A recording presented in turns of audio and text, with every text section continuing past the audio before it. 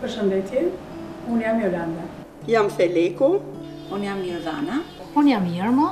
Unë jam Zana. Unë jam Dava. Unë jam Lindita. Në profesion jam arsimtare.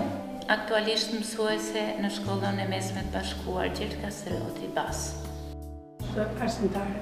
Aktualisht për momentin jam e përzgjedhur si anëtare e Këshillit Bashkiak në listën e Këshillit e Këshilltarëve të Durrësit. Vij nga fusha e arsimit. Këto dy vite unë punoj në institucionin e prefektit të Qarkut Shkodër, sekretare e përgjithshme. Jam profesion juriste, aktualisht punoj avokate. Kam punuar si pedagoge në Universitetin Luigj Gurakuqi të Shkodrës. Sot jam deputete e Kuvendit të Shqipërisë. Jam nënë e dy fëmijëve, arsimtare tërë jetën. Sot jam 63 vjeçe, kam dalë dhe në pension. Jam aktualisht qysh në vitin 2011, jam anëtare e këshillit bashkiak.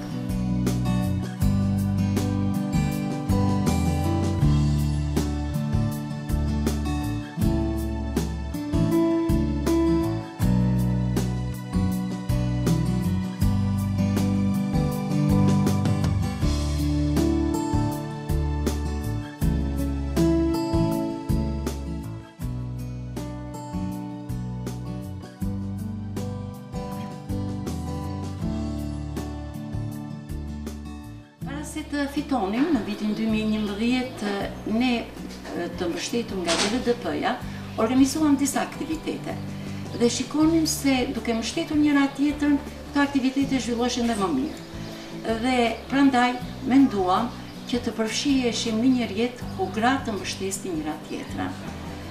Pasi u futëm në këshill bashkiak, ky bashkëpunim ishte akoma më i mirë dhe ne jo vetëm që krijuam rrjetin e këshilltarëve bashkiake, ku bënin pjesë zonja Felek Brahimi, Afërdita Çoku, zonja Irma Kopliku dhe unë, të katra nga dy forca politike PS dhe PD, por ne e shtrimë edhe më lart e shtrimë rrjetin tonë. Ne u lidhëm dhe me këshilltare nga qarku i Lezhës, nga Mirdita, nga atë dhe bashkëpunonim mjaft mirë me njëra tjetrën. Dihet se ky rrjet nuk qëndroi vetëm në rang këshilli bashkiak, po u shtri edhe në lidhjet tona, sepse ne ishim gra të cilat njihnim merreshim me ngritjen e forumeve dhe ishim gra që kishim dalë nga forumet, domethënë nuk ishim gra që kishim dalë si persona, po ishim nga forcat politike dhe nga forumet. Prandaj ky rrjet u shtri shumë gjerësisht vetëm me një qëllim, që t'i shërbenim qytetit tonë.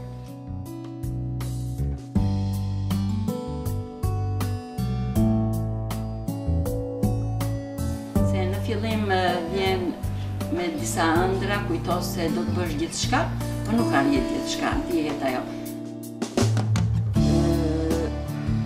Të jesh femër edhe të merresh me politikë, nuk është e lehtë.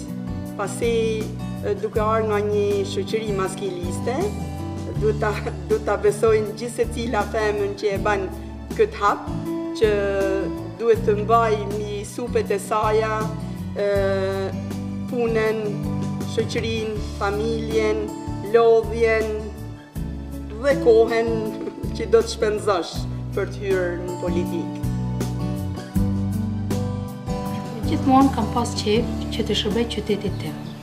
Përveç si edukatore, si pedagoge, më ka pëlqy Që të shërbej një mundësi është edhe të merresh me politikë. Kur u futa në politikë, u futa në mënyrë të natyrshme faktikisht, pavarësisht se pasioni ishte ekzistonte. Por u futa në mënyrë të natyrshme, as vetë, domethënë pa e kuptuar dhe vetë mirë. Aty pashë se kishin nevojë për një fjalë edhe një mbështetje, sepse aty Politika është një profesion në vete. Edhe që të jetë një profesion në vete, kishte nevojë për trajnime, kishte nevojë për shkolla, kishte nevojë edhe për mbështetje financiare.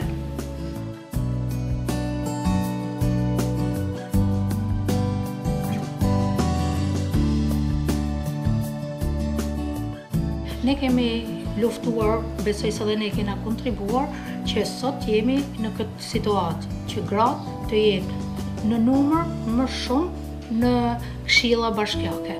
Por, në qoftë se është fiks për të treguar se gratë janë të zoja për të qenë të forta sa dhe burrat, por një gru absolutisht nuk mund të jetë e fortë, në qoftë se nuk është e ngritur për sot Kështu profesionalisht. Lobum fuqishëm nëpërmjet buxhetimit gjinor, që bashkia të akordonte një shumë të veçantë për, për shkollat. Aty ne na lindi ideja pse jo t'i pasuronim bibliotekat me disa nga librat që ato bibliotekat e shkollave nuk kishin mundësi t'i blenim. Duke pas parasysh programin e shkollave përkatëse, ne hartuam një listë me libra dhe mendum që ato libra të ngeleshin në vite.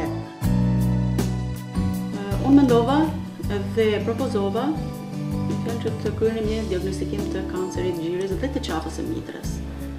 E filluam me lista praktikisht, vazhduam me fushatën derë në derë. Ajo që përfshinim ishin gratë me nevojë praktikisht. Kjo ishte edhe ajo qëllimi që aty të sensibilizonim gratë që diagnostikimi i hershëm është i barabartë me me një shërim. Domethënë projekti DLDP-s, domethënë na dha një mbështetje financiare për të organizuar një diagnostikim të kancerit të gjirit për një numër të caktuar grash, që për qytetin e Lezhës ishte afërsisht 150, shkallë qarku, rreth 400 gra.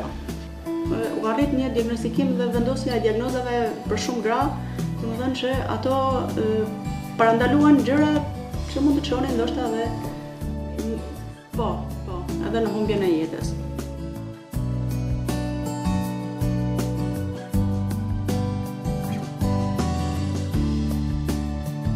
gjërat deri dje këtu kanë qenë shumë të ndezura. Domethënë shikoja si armike një një grua të një force tjetër politike dhe njëkohësisht po ashtu shikonte dhe ajo. Tani mund të them që mund të shkëmbesh eksperiencat shumë mirë me çdo çdo çdo fashë ideje që ajo të ketë në kohë. Dhe në fund të fundit gjithsekush lufton për bindjet e veta, për përqasjet e veta, aty është dhe gara në mes, sepse ty të jep një horizont tjetër. Ky rrjet i mbështetur nga DLDP-ja ka pas diçka se gjithmonë ka vepruar konkretisht. Ka qenë më i lidhur me qytetarin.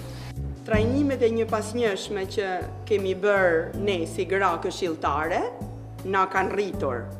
Të them të drejtën nga katërdhjetë e pesë këshilltarë që kishte bashkia Shkodër vetëm shtatë ishin gra dhe ku mund të flitësh për buxhetim gjinor me shtatë gra. Dhe megjithëse ishim aq të pakta në numër, ne përsëri me, me, me aq mundësi dhe me aq mbështetje, e, fjalën tonë gjithmonë e kena thanë. Kuptohet duke qenë pjesë e vendimmarrjes, ne krijuam eksperienca duke parë se si funksionojnë ligjet, si funksionon mbështetja, domethënë për të kryer ato ide që kishim ne, si ishim zot të jepshim mendimet tona në komisione, tashi sot unë besoj se kam më të lehtë, pavarësisht se ka pak kohë që kam filluar, unë do ta kem më të lehtë për të që jenë pjesë aktive në parlamentin shqiptar. Rrjeti bëri që ne të hedhim tej mentalitetin, të hedhim tej kufizimin dhe çfarë morëm nga rrjeti ne t'ua japim shoqeve tona.